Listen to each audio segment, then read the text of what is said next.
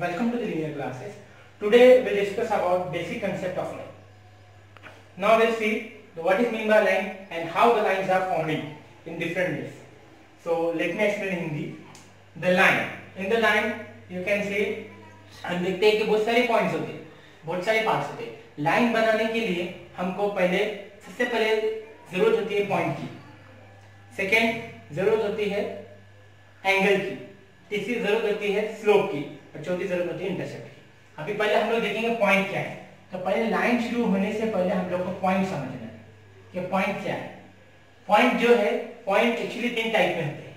Line बनाने के लिए तीन पॉइंट पॉइंट में तीन टाइप की ज़रूरत है. एक होता है पॉइंट में ओरिजिन पॉइंट एक होता है ओरिजिन पॉइंट सेकेंड होता है intercept point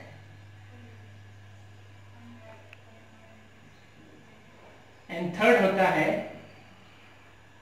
arbitrary point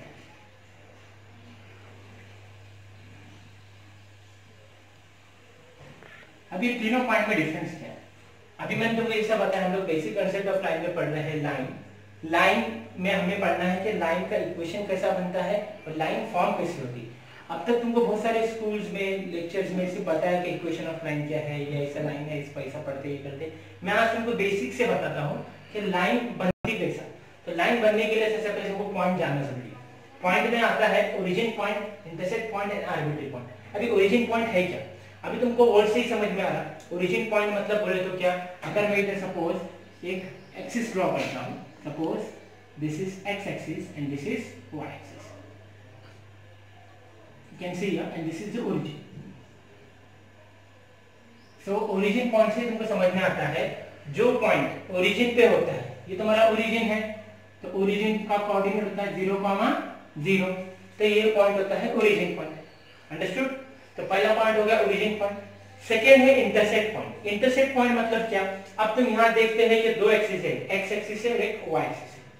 okay अब एक्स में भी दो पार्ट है. एक राइट पार्ट है, एक लेफ़्ट पार्ट है. राइट पार्ट को एक्स एक्सिस बोलते हैं लेफ़्ट पार्ट को एक्स डैश बोलते हैं. मतलब नेगेटिव पॉइंट्स आते हैं. वाई एक्सिस में भी दो पार्ट एक ऊपर है और एक नीचे है।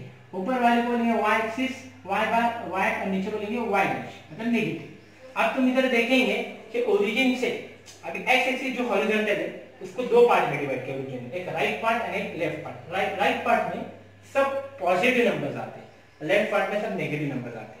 तो मतलब one two three four up to infinity जहाँ तक भी दिया है। यहाँ minus one minus two minus three up to minus now you can see here plus one plus two plus three plus four up to infinity minus one minus two minus three minus four up to minus infinity so, here we are studying about intersect point. Intersect point मतलब बोले तो क्या? जो भी point x axis पे या फिर y axis पे बनते हैं, वैसे पॉइंट का इंटरसेक्ट पॉइंट होता फिर से बोल रहा हूँ मैं, सुनो।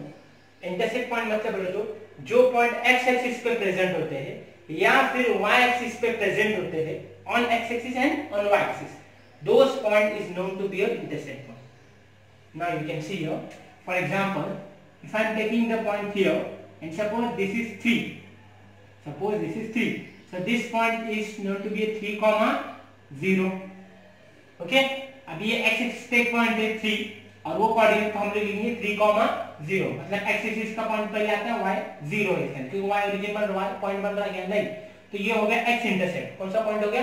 X इंटरसेक्ट पॉइंट अभी सपोज़ मैंने कोई यहाँ पॉइंट ले लिया. सपोज़ यहाँ 5 है.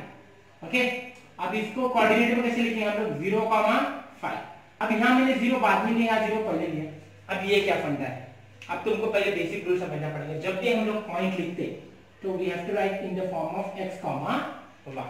तो पॉइंट में फ़र्स्ट पोजीशन हमेशा x एक्सिस की होती है एंड सेकंड पोजीशन पे हमेशा y एक्सिस के पॉइंट होते हैं.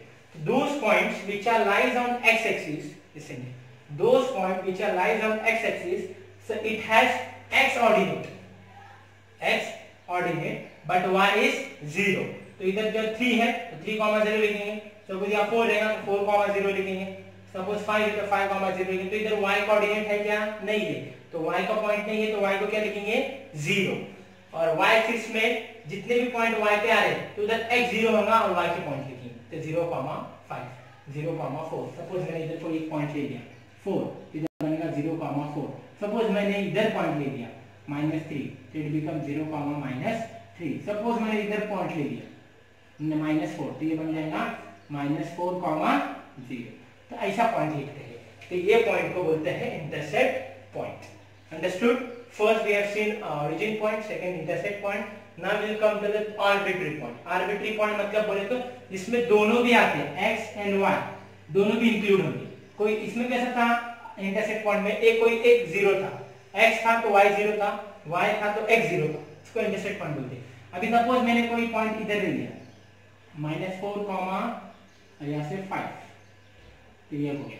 तो इधर एक पॉइंट बन गया सपोज़ पी हमने लिया माइनस फोर कॉमा फाइव तो ये हो गया आर्बिट्री पॉइंट मतलब it should be lies on plane और you can say in quadrant ये फ़र्स्ट क्वाड्रेंट है, ये सेकंड क्वाड्रेंट है थर्ड क्वाड्रेंट है फोर्थ क्वाड्रेंट है. तो arbitrary point is always lies in the quadrant कोई भी क्वाड्रेंट पे लाई कर सकता चार क्वाड्रेंट है फ़र्स्ट क्वाड्रेंट पे लाई करेगा तो दोनों पॉजिटिव हैं प्लस प्लस जो हम लोग पढ़ते सेकंड क्वाड्रेंट पे रहेगा तो आर्बिट्री पॉइंट माइनस प्लस होगा। थर्ड क्वाड्रेंट पे रहेगा तो minus minus and fourth quadrant पे रहेगा तो माइनस प्लस तो आर्बिट्री पॉइंट हमेशा क्वाड्रेंट पे होते फॉर एग्जांपल मैंने यहाँ पॉइंट ले लिया माइनस थ्री था तो मरेगा माइनस फोर था। इसी को मैं अगर आगे बढ़ा दूँगा। देखो, इधर ले लिया, इधर मैंने ले लिया क्यू पॉइंट फॉर एग्ज़ाम्पल तो ये होगा minus four comma minus three तो ये भी आर्बिट्री पॉइंट हो गया। Understood what I am saying you what I am trying to show you here there are three types of points. First is origin point, means those point which are lies in origin. Intersect point x axis पे रहेंगे सिर्फ़ axis पे रहेंगे वो point को intersect point बोलेंगे। Axis पे रहेंगे तो y इंटरसेक्ट पॉइंट बोलेंगे। आर्बिट्री पॉइंट मींस कोई भी क्वाड्रेंट पे हो सकते। तो ये हो गया पॉइंट का फॉर्मेशन अंडरस्टूड तो सबसे पहले लाइन समझने के लिए तुमको पॉइंट समझना पड़ेगा। ओके अब ये पॉइंट के तीन पार्ट हो गए। Next will come to next step that is angles angle जानना बहुत ज़रूरी है बच्चों, क्योंकि एंगल्स हमको जब तक नहीं समझेंगे तो जब तक स्लोप नहीं समझेंगे। क्योंकि एंगल्स हमको समझना है कि एंगल्स कैसे कैसे होते हैं। ओके एंगल्स के तीन टाइप है, तुमको पता है। अच्छा अगर नहीं पता है तो फिर से मैं रिपीट कर दूँ, बहुत बेसिक चीज़ है। एक होता है right angle right angle means angle अगर 90 डिग्री रहेगा तो उसको राइट एंगल बोलते हैं। सेकंड होता है एक्यूट एंगल एक्यूट एंगल मतलब बोले तो लेस देन 90 डिग्री और थर्ड होता है obtuse angle means more than 90 अब तुमको मैं बताता हूँ कैसा होता है। एंगल में भी तीन टाइप होते हैं। ओके पहला होता है acute angle acute angle means जो भी एंगल लेस देन 90 डिग्री रहेगा ओके 90 से लेस रहेगा सेकंड होता है राइट एंगल राइट एंगल मतलब बोले तो इक्वल टू 90 एंड थर्ड होता है ऑप्टिव एंगल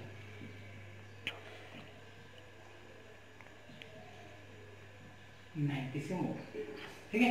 अब ये तीनों एंगल को हमको पहले समझना है acute angle right angle obtuse angle अब जैसे हमने पॉइंट में तीन टाइप देखे वैसे एंगल में भी तीन टाइप है right angle acute angle obtuse angle अब ये एंगल क्या डिफाइन करता है ये एंगल लाइन का एक डायरेक्शन डिफाइन करता है जैसे अभी फॉर एग्जांपल मेरे पास एक सपोज़ ये line is the marker but suppose I so you suppose this is the line suppose this line is in horizontal form I am taking this line like this okay so here we can see there is no angle angle दिख रहा है क्या किसी को दिख रहा है कि नहीं दिख रहा है? नहीं दिख रहा है। क्यों?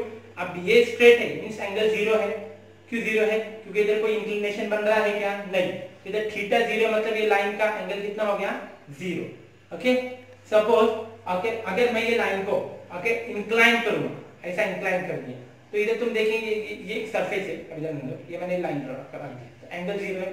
सपोज़ मैंने इसको इंक्लाइन किया रोटेट किया 30 डिग्री तो इधर तुम देखेंगे कि इधर एक एंगल बन रहा है। ओके 30 डिग्री तो इसके बाद और आगे करूँगा 60 डिग्री और सीधा करूँगा 90 degree so this is the formation of angles ठीक है?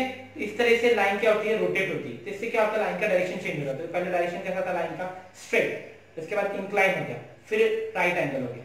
तो यही चीज़ को मैं तुमको डिस्क्राइब करना चाहता हूँ. देखो, अभी suppose this is the line okay तो इसका थीटा कितना रहेगा?